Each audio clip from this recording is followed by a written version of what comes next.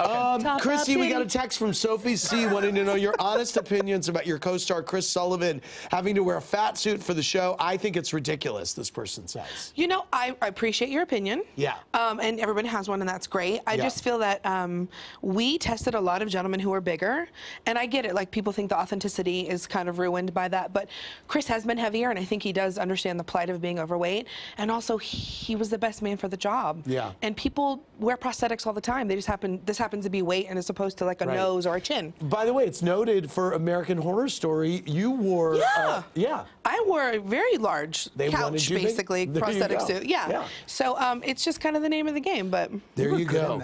Um, thanks for watching. Watch more clips here and subscribe to our channel here. See ya.